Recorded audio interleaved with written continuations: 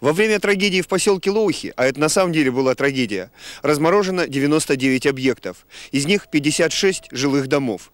Более 2000 человек в поселке поняли, что такое жить в ледниковый период.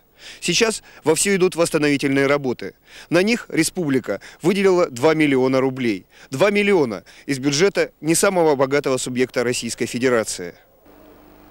Все начиналось здесь, у котельной локомотивного депо, которая топит половину поселка. Лопнуло сразу две трубы, которые должны были заменить еще в августе, но не сделали этого. И почти весь поселок остался без тепла. Разваленная до основания Лоухская ЖКХ справиться с аварией самостоятельно было не способно, а районные власти не поставили в известность о случившейся ни правительства, ни собственных жителей. Это еще более усугубило ситуацию. В квартирах стали лопаться батареи, в которых замерзала неслитая из системы отопления вода. На улице было минус 30. Вот мы делали 20, ой, четвертый дом, да, сами жильцы говорили, если, говорит, нам предупредили бы, что так получится, мы бы слили воду, дом бы уже был не размороженный. В момент аварии у лоукских коммунальщиков не было ни карты сетей, ни инструментов для работы. К срочно приехавшему туда Аврааму Склярскому обращались с удивительными просьбами привезти из Петрозаводска ломы и разводной ключ. Приехавшим на помощь лоухам аварийным бригадам со всей республики пришлось все, вплоть до болтов, вести с собой. Люди вкалывали на страшном морозе сутками. Здесь вот мы в 22 доме работали 28 часов подряд. Ну, давали нам, правда, это, как его, и материалы, все это, но морозы тут были. Так-то, ну, конечно, сложности были. Люди работают, ночь, холод, все это. Не поесть, ничего. Было. Тепломагистраль была восстановлена за сутки, но оставалось самое главное – дать в дома тепло. Разрушения были столь велики, что даже спустя месяц после аварии еще далеко не все сделано. В 15 домах люди мерзнут до сих пор. И до сих пор рядом с местными бригадами работают бригады из соседних районов. Без помощи республики, потому что тут со всей республики сейчас э, люди работают, справились бы сами. Как, как вы считаете? Нет, нет. Да нет, столько нет, домов было разморожено, нет. нет. По-моему, не справиться бы нам нет, было самим. Нет.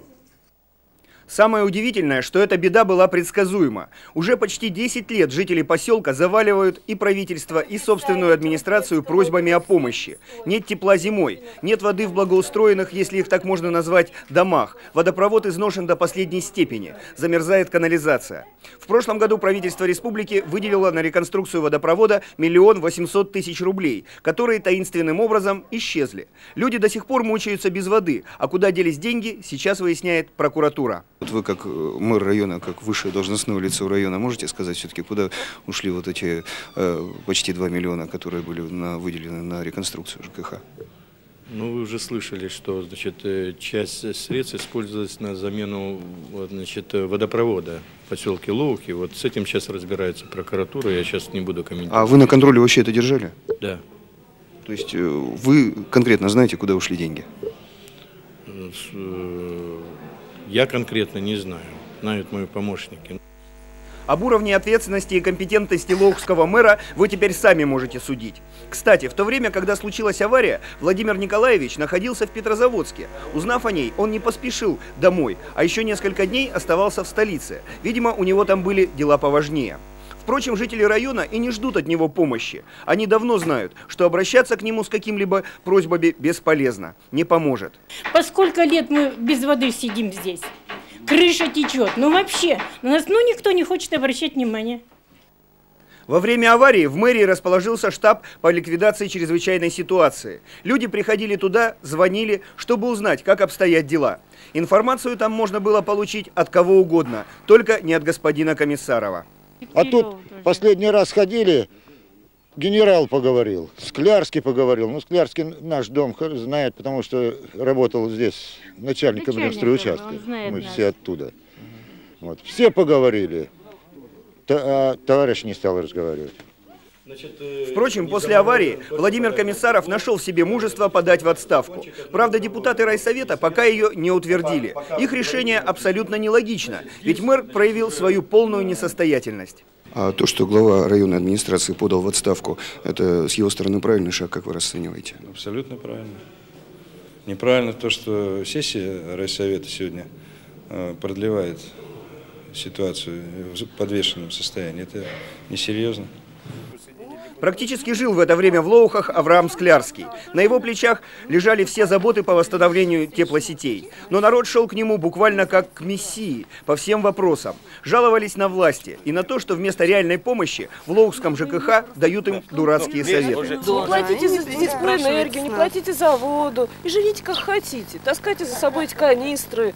На четвертый, на пятый этаж. Вертолет с Сергеем Катанандовым на борту приземлился прямо в центре поселка в минувшее воскресенье. Буквально пролетев по аварийным объектам, он собрал в мэрии небольшое совещание, чтобы окончательно определиться со сроками окончания работ. Мэр достаточно подробно рассказал, как идут работы, и твердо обещал, что через 10 дней авария будет полностью ликвидирована. Но главу республики интересовало и другое. Как вообще такое могло случиться, если комиссии и представители правительства постоянно держали на контроле этот район? Своему заместителю Павлу Чернову он достаточно жестко высказал все, что он думает по этому поводу. Говорил он и о солидарности в таких ситуациях. Почему, недоумевал Катанандов, бригады приехали по первому зову из всех районов на помощь, а три мощнейших лоуских предприятия не соизволили подставить поселку свое плечо. И всех трех крупных начальников, они пусть ко мне не обращаются. И Федчика, и Кривошеина, и последнего. Не обращаются. Я говорю, Я говорю это публично, чтобы все слышали.